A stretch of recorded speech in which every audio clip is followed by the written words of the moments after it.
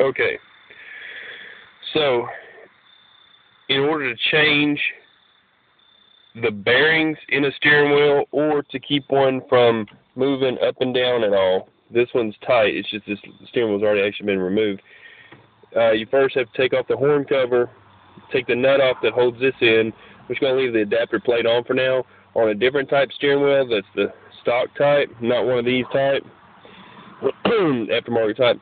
On the stock type, you take that nut off, then you put a pulley puller on it that'll grab the steering wheel and put pressure in here to pull it off because you won't be able to beat the steering wheel off unless you had a couple of hammers um, to to whack at it. Take a lot, um, and it'll it'll be rough to do. But I just can pop this one off, and I've already taken it off. Basically, just got to pop it off a few times here, and the whole steering wheel will come right off.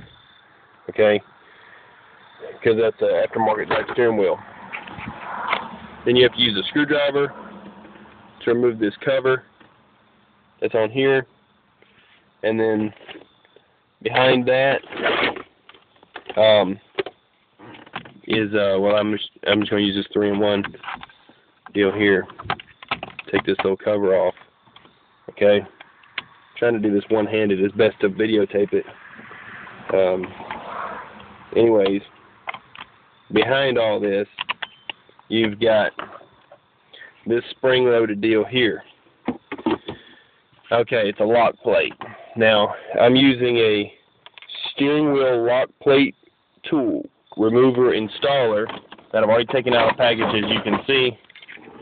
Alright, this is the way it comes in the package with an extra one of these. It's about a, I don't know, about a 15 or $20 tool, 25 I don't even remember what I paid for it. Okay, so anyhow, you get the one that best fits your steering wheel, um, which this one going over,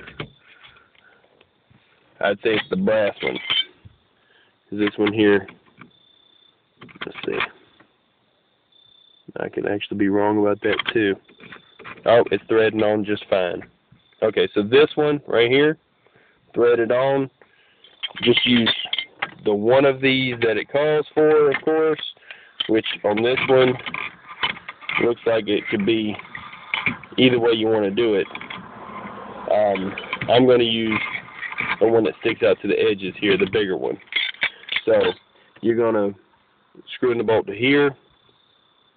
That's going to relieve pressure on this. And then you have this spring clip, this C-clip right here. Okay, Let's see if I can get a good view of it. There we go. That little round piece of steel C, spring C-clip, there's the top notch of it up there on the top. Right in here where my finger's at is where you should be looking. Right in here. That C-clip, when you relieve the pressure from the locking plate, you will pick that out with a screwdriver on each side and a picking tool. Um, you can probably just pop it out with a screwdriver once you get this pressure off this lock plate. Then you remove the lock plate, remove the horn assembly, and then inside of there is the screws for, right here's one, the screws for the, um, in that hole, see, screws for the turn sig signal assembly. There's one, two, three, or four of them. Take that out, and then there's one screw that holds this tumbler in. You can take that out, then you're down to the uh, getting to the four screws. There's one here, one here, one here, and one here deep inside there that actually keep this thing uh, mounted, and they wear they they wear themselves loose. All you have to do is take them out, put lock thread, Loctite on them, the kind that does not come apart easily, the red kind. The blue is serviceable. The red is non-serviceable. You want the red one to lock them in good, and that'll take care of this problem. You can rebuild the bearings while you're in there, um, but uh, it's not necessary unless a couple of them fell out and you've got a whole lot of slop in your in your steering wheel. Um, but they're easy to get to, and you can at least regrease them while you're in there. And then there's a, a key that comes down here, pushes way down a rod. You have to make sure that rod is set in place down at the bottom and up top while you're putting it together.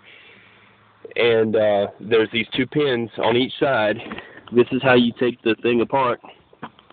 Um, they're over on this left side, just past this cover. You have to take this cover off.